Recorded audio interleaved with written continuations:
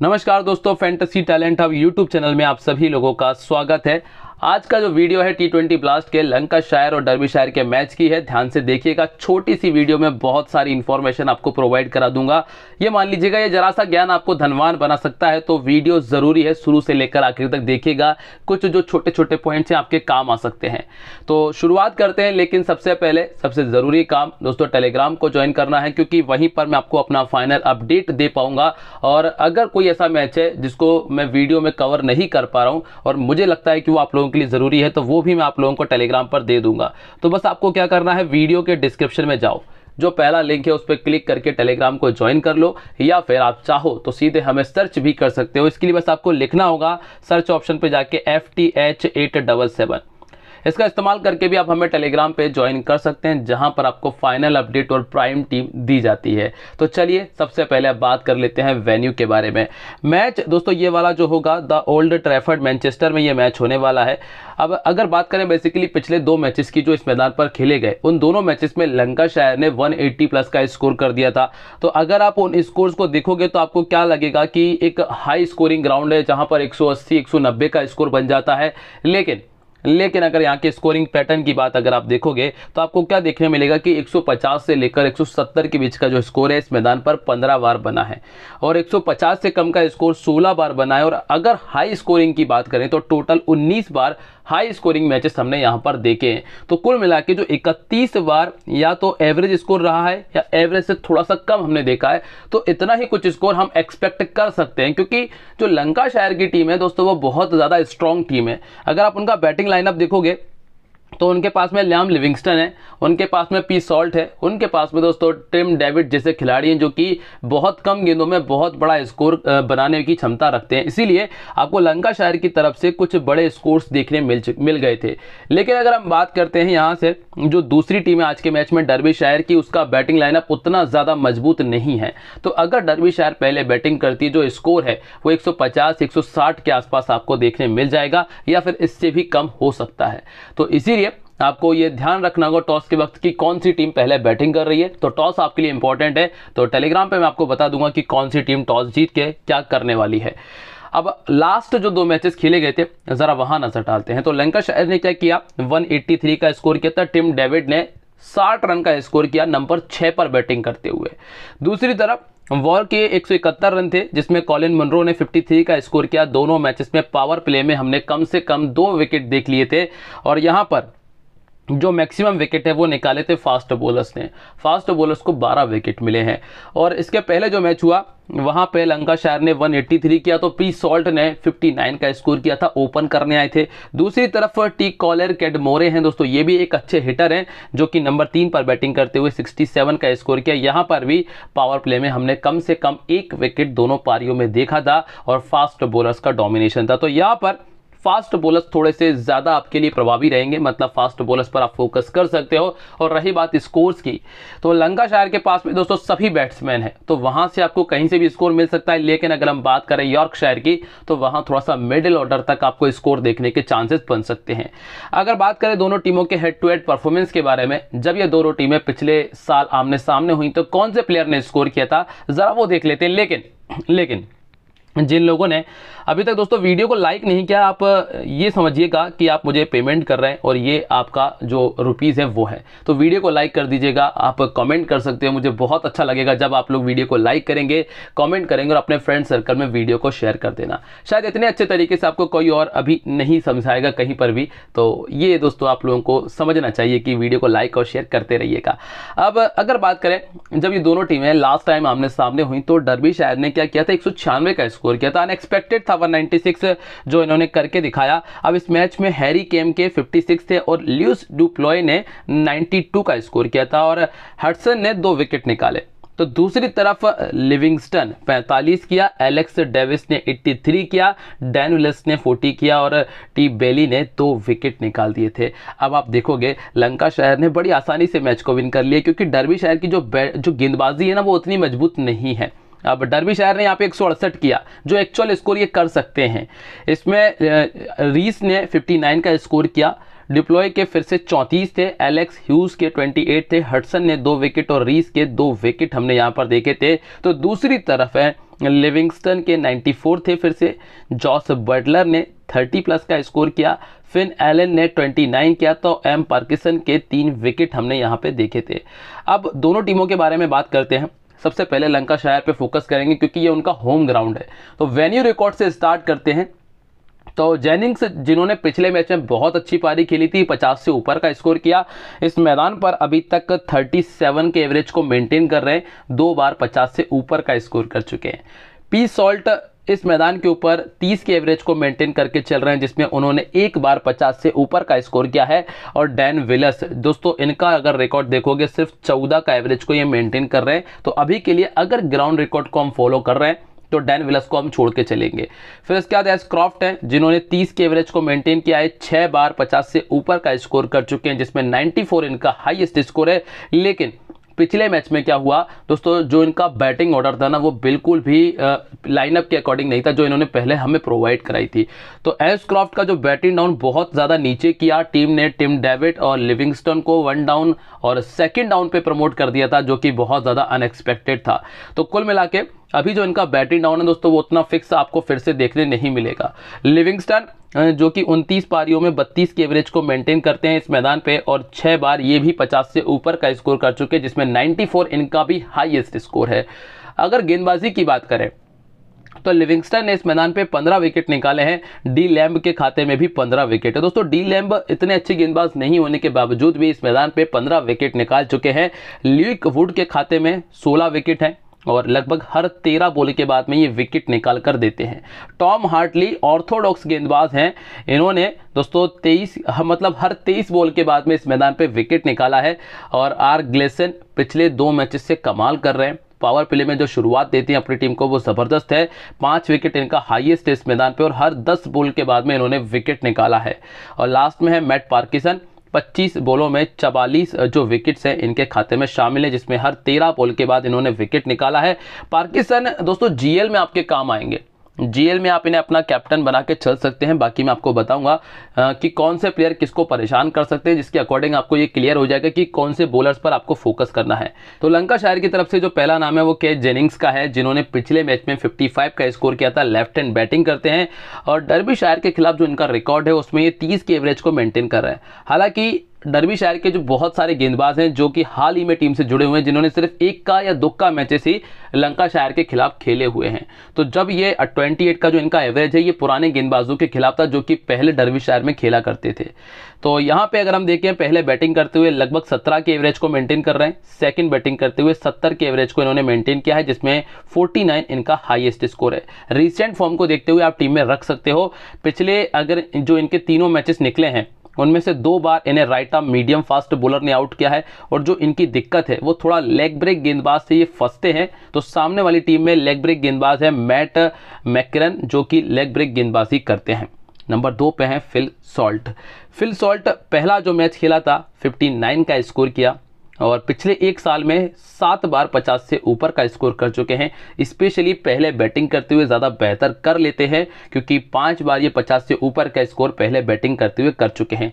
दो बार इन्हें right arm, medium fast bowler out कर चुका है और इनकी अगर हम कमज़ोरियों की बात करें लेफ़्ट आर्म मीडियम के सामने ये 15 के एवरेज को मेंटेन करते हैं और सात बार ये आउट हो चुके हैं पिछले एक साल के अंदर और लेग ब्रेक के सामने इनका 19 का एवरेज है। तो लेग ब्रेक के तौर पे मैक्रन है और जो लेफ़्ट मीडियम है वो है head and care. Head and care दोस्तों अच्छे गेंदबाज भी हैं, आप इनको काउंट करके चलिएगा।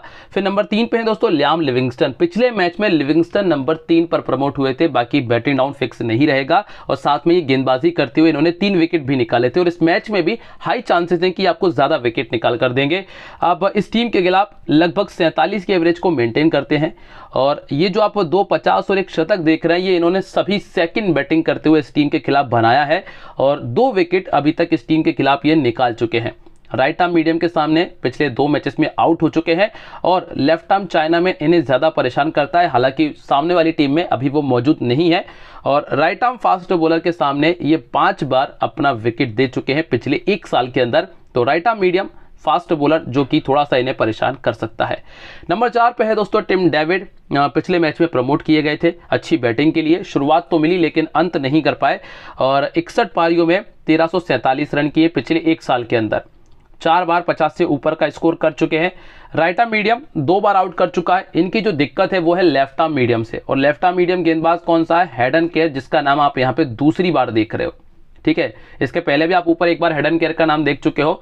फिर नंबर पाँच पे डेन विलस है। चौबीस का स्कोर किया। इस ग्राउंड का रिकॉर्ड बहुत ज़्यादा खराब है।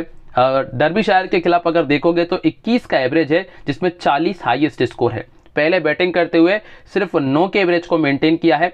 इन्हें पिछले तीन मैचेस में दो बार राइट आर्म मीडियम और एक बार right arm fast bowler out कर चुका है। और इनकी जो कमज़ोरी है वो है कि लेफ़्ट मीडियम के सामने सिर्फ़ 11 का एवरेज है। तो left medium head and care का नाम आपको एक बार फिर से नज़र आया है। लगातार तीसरी बार हो चुका है जब आपको हेड एंड केयर का नाम नज़र आ रहा है। तो खास तौर से अगर पहले गेंदबाजी कर रही है डरबी शायर तो आप लेफ़्ट मीडियम जो हेड एंड केयर है, उन्हें अपना वाइस कैप्टन बना सकते हो। इसके बाद राइट मीडियम के सामने इनका सत्रह का एवरेज है। तो ये दोनों गेंदबाज जो कि राइट मीडियम है और राइट आर्म फास्ट बॉलर के सामने इनका आठ का एवरेज है। नंबर छः पे आए थे स्टीवन क्राफ्ट, लगभग 20 का जो स्कोर है, ये आपको आसानी से करके दे सकते हैं। और राइट हैंड बैटिंग करते हैं। एक स्पेशल बात जिस पर आपको ज़्यादा फोकस करना है अगर ये लंका शहर की टीम पहले बैटिंग करती है और ये नंबर तीन या नंबर चार पर बैटिंग करने आ जाएँ तो आपके लिए कैप्टनसी के लिए बहुत अच्छी चॉइस बन सकते हैं, क्योंकि इन्होंने इस टीम के खिलाफ पहले भी दो बार पचास से ऊपर का स्कोर किया है और वो दोनों पचास ये पहले बैटिंग करते हुए किए हैं, जिसमें नाइन्टी इनका हाइएस्ट स्कोर है। ठीक है? और इन्हें आउट करने वाले गेंदबाजों में लेग ब्रेक ऑर्थोडॉक्स और राइट आर्म मीडियम है, जो कि इन्हें अभी तक आउट कर चुके हैं। राइट आर्म फास्ट बॉलर के सामने ये ज़्यादा परेशान होते हैं जो कि सामने वाली टीम के पास में अभी नहीं है। फिर आते हैं दोस्तों गेंदबाज, डैनी लैम्ब। पाँच पारी, चार विकेट निकाल चुके हैं अभी तक डर्बिशायर के अगेंस्ट, जो कि बहुत ज़्यादा नहीं है। हाईएस्ट है इनका एक विकेट। फिर आते हैं लुइक वुड पे। लुइक वुड ने चार पारियों में सिर्फ़ दो विकेट निकाले हैं और इनका हाईएस्ट एक विकेट है। हालाँकि रीसेंट फॉर्म देखें तो पिछले तीनों मैचेस में विकेट निकाला है, जिसके चलते अगर आप टीम में रखना चाहें तो रख सकते हो। टॉम हार्टली ऑर्थोडॉक्स गेंदबाज हैं। दोस्तों, ऑर्थोडॉक्स गेंदबाज मैक्सिमम मैचेस में परेशान करते हैं बल्लेबाजों को। चार पारियों में दो विकेट इनके खाते में भी हैं। हालाँकि दोस्तों, सामने वाली टीम के कुछ बल्लेबाज ऐसे हैं जिन्हें ऑर्थोडॉक्स से दिक्कत होती है। तो इसीलिए टॉम हार्टली को हम पिक कर सकते हैं। और लास्ट में रिचर्ड ग्लेसन है। हालाँकि इनके खाते में एक विकेट है, लेकिन रिसेंट फॉर्म क्या कहता है कि पिछले तीन मैचेस में आठ विकेट निकाल चुके हैं। तो रिचर्ड ग्लेसन वैसे भी मैक्सिमम लोगों की टीम में रहेंगे स्मॉल लीग में तो आप भी इन्हें पिक कर सकते हैं। और लास्ट में मैट पार्किसन है। पिछले दोनों मैचेस में एक एक विकेट निकाला, नौ पारियों में दस विकेट इनके खाते में शामिल है। और पहले गेंदबाजी करते हुए सात विकेट है तो सेकंड इनिंग में गेंदबाजी करते हुए तीन विकेट ये निकाल चुके हैं। अब हम बात करते हैं दूसरी टीम डरबी शायर की तो डरबी शायर की तरफ़ से। पहला नाम है शान मसूद का। शान मसूद इस मैदान पर अभी तक कोई भी मैच उन्होंने नहीं खेला है। आगे बढ़ते हैं, लेकिन दोस्तों, उम्मीद करता हूँ कि आप सभी लोगों ने मुझे टेलीग्राम पे ज्वाइन कर लिया होगा। जो लोग स्किप करके यहाँ पहुँच चुके हैं, उनसे बता दूँ कि टेलीग्राम पे ज्वाइन कर लेना। फाइनल अपडेट आपको वही दूँगा। लिंक डिस्क्रिप्शन में है। और वीडियो को लाइक लाइक करना बिल्कुल मत भूलिएगा। दोस्तों, लाइक, शेयर करोगे तभी मज़ा आएगा। तो रीस की बात कर लेते हैं तो इस मैदान पे इन्होंने 96 का स्कोर किया है 59 उनका हाईएस्ट स्कोर है।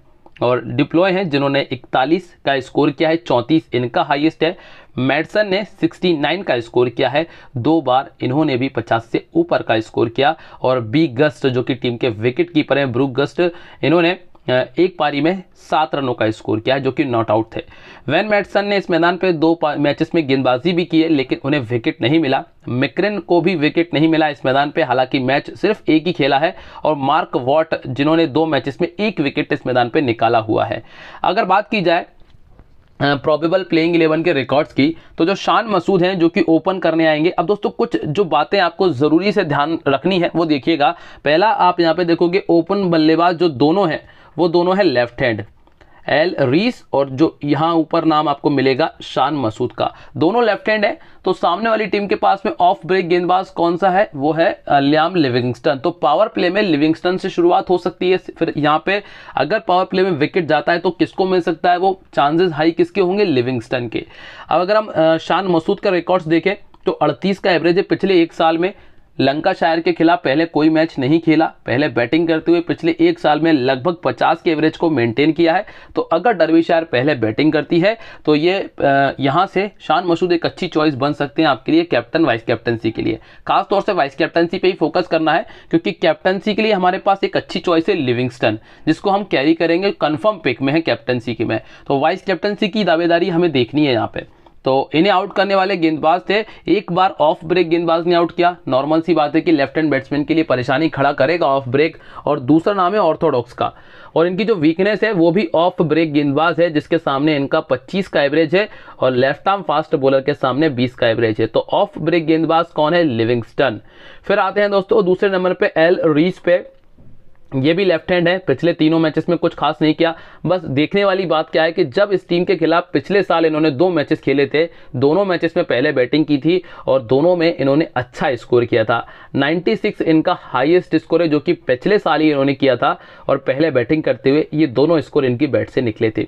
इस सीज़न में राइट आर्म मीडियम ने इन्हें परेशान किया है, दो बार आउट कर चुके हैं और लेफ़्ट आर्म ऑर्थोडॉक्स के खिलाफ ये पाँच बार अपना विकेट दे चुके हैं। तो टॉम हार्टली जो मैं आपको बता रहा था कि इन्हें आप पिक कर सकते हो, वो इसलिए क्योंकि लेफ़्ट आर्म ऑर्थोडॉक्स मतलब ली रीस को परेशान कर सकते हैं तो इनका इस्तेमाल अगर गेंदबाज मतलब कप्तान करता है तो ये फ़ायदा टॉम हार्टली को मिल सकता है।